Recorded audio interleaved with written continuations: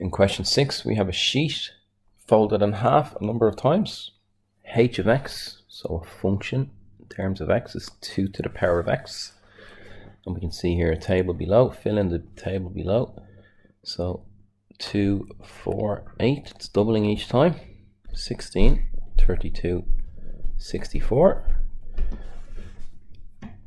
Just check 2 to the power of 6 on your calculator is equal to 64 if you can't see the pattern itself and 2 to the power 5 and then your knowledge of domain and range d and or the way I taught it in class x comes before y d comes before or so the domain is your x values.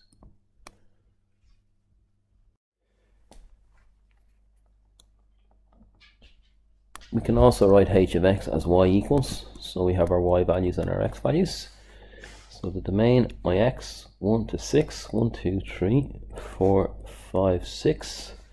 The corresponding y values underneath 2, 4, 8, 16, 32, and 64. And then work out the least number of falls to have more than 500. This is just, let's keep going here. You could write 2 to the power of trial and error on your calculator. The ones I've told you to remember are 2 to the power of 10 because it begins with 10, 1024, and 2 to the power of 5 is 32. And if you remember these two, you can work your way up or down to whatever you need. So 2 to the power of 9 would be 512. So therefore, we will have 9 folds here.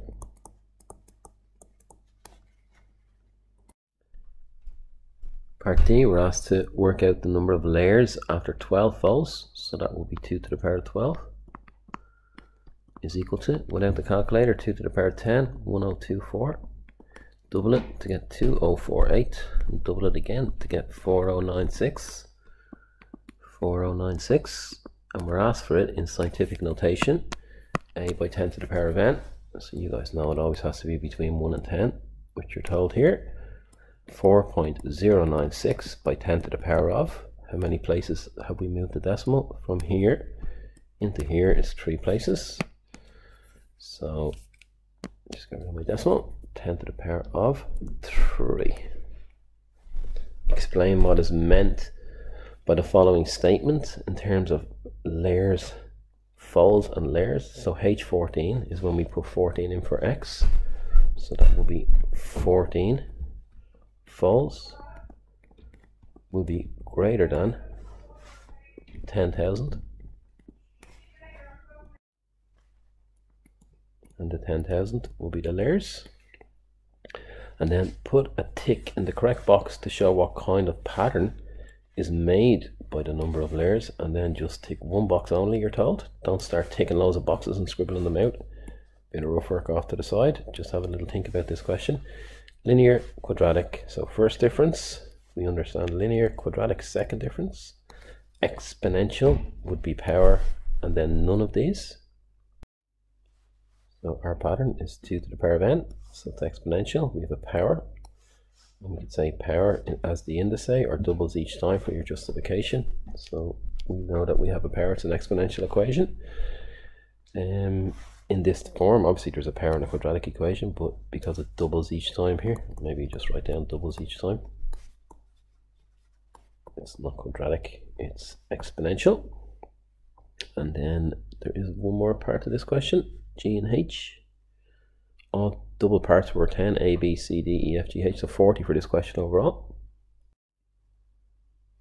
Part G, kind of understanding words. After a certain number of folds, there are K layers. So let's say it's K. So the next one will be, we're going to double it. It's going to be 2K. If we double 2K, we'll get 4K, regardless of what K is. If we double it again, we'll get 8k and this is the question here after three more false and the answer in terms of k. So you kind of start writing down your knowledge nearly before reading the question. So 8k will be the answer here. And after a certain number of false there's 2 to the power of p layers 2 to the power of p.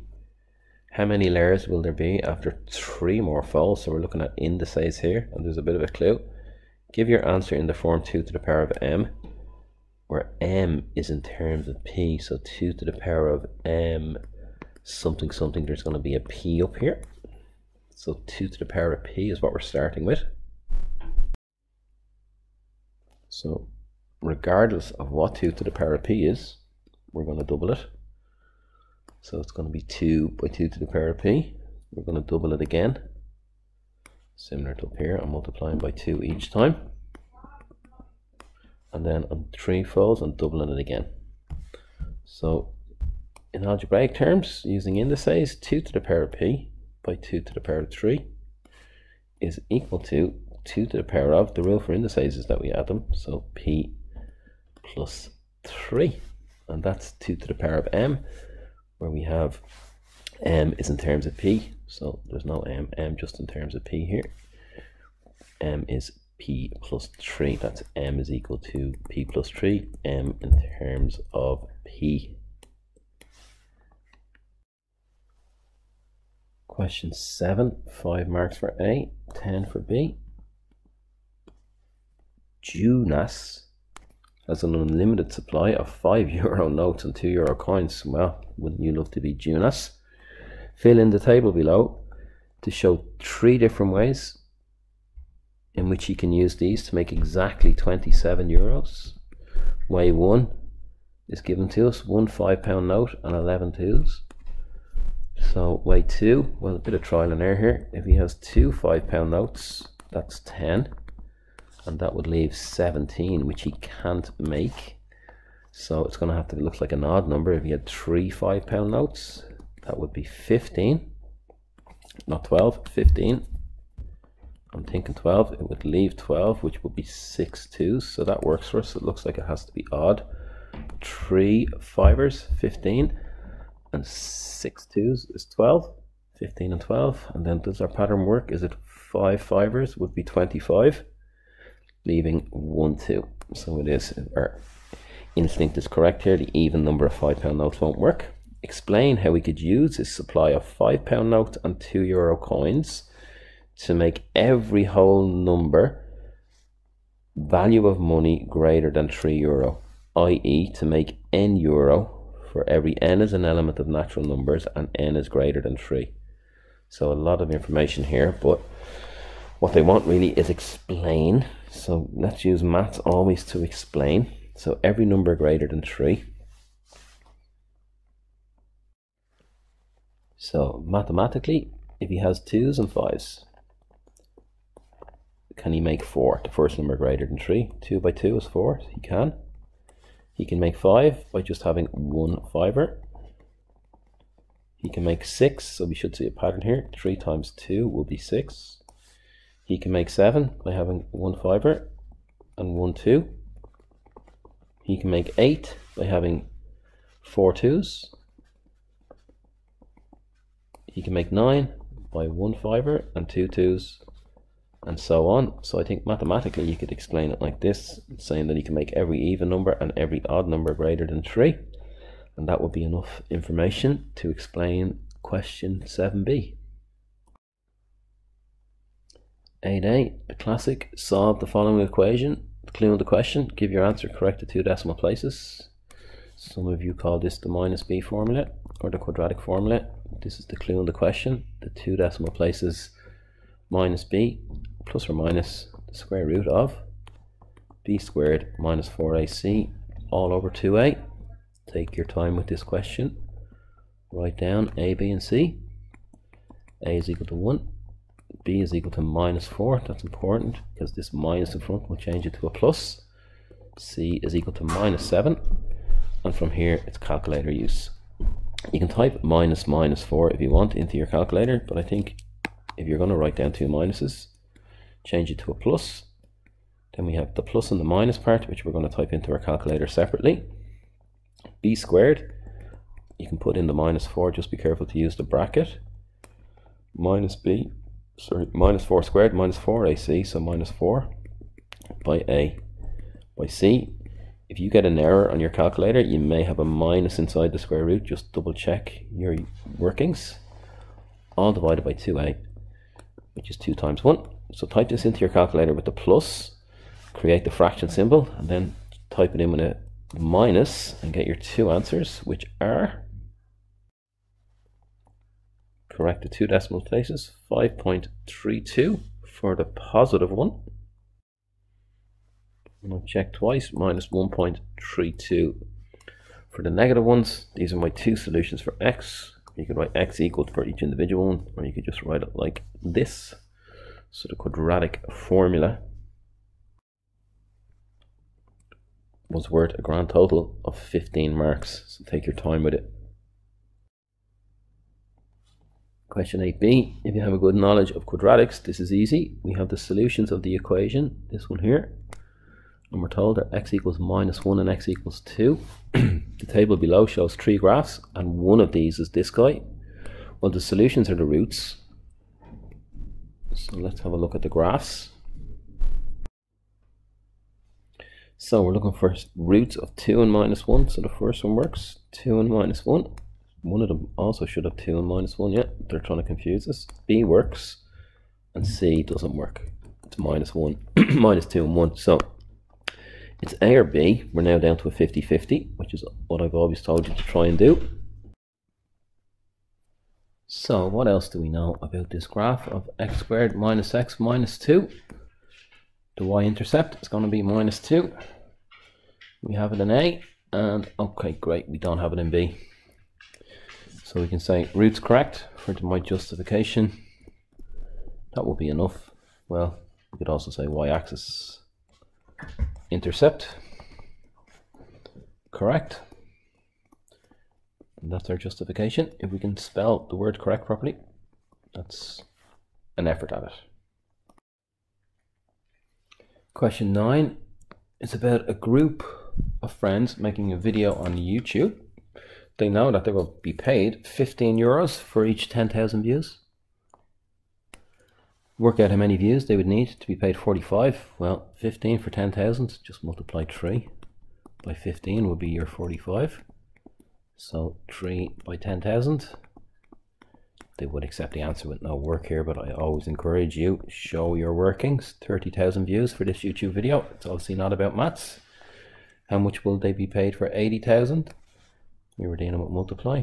Now we're going to be dealing with divide 6 by 15, if we want to approximate, will be 90. So 60,000 views will be 90 euros. So let's divide 80,000 by 15 and we should get and I hope you see I'm looking at this backwards so let's go back and just read the question carefully it's easier than it seems 80,000 views is 15 by 8 objects. 120 euros.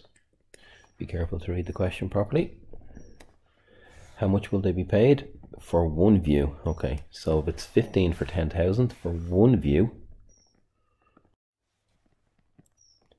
it will be 15 divided by 10,000 and that would just move the decimal four places so 0 0.123 four, is that right? It was here, and now it's four places back, that's right. So that will be in cent or in euro, which that will be one cent if there was a zero one, so less than one cent per view. Part D, write an expression in X for the profit in euro they will receive for X views. Well, what is profit? What is profit? Profit is how much cost is involved it's our revenue. Actually the way around isn't it? How much profit we make is based on how much we take in revenue minus how much we outlay. And what does it tell us? It does not cost anything to post but it costs 70 to make. So whatever revenue we have and 70 is what we're dealing with here. So it's going to be a combination of the two parts. What did we get the last time? We got how much revenue is 0015 per video multiplied by the amount of videos we make. So this is an expression in X for the profit. There's seven people in the group. They divide the profit from the video evenly and they each get 200 in profit. So write an expression in X to represent this information and then work out the value of x in E part 2. So if they get 200 each, and there's seven of them, they're making 1400 euros. Everyone wants to be a YouTuber. So let's see how many views you need to make 200 quid. So 0.015x, this is this part down here, minus 70 is equal to this 1400. So 0 0.0015, I left out a zero here. x is equal to 1470. They were zeros above. So x is equal to the 1470 divided by the 0 0.0015. This gives a grand total of 980,000 views, nearly a million views to be a YouTube millionaire, but you're only making 200 euro. So get studying and get a proper career.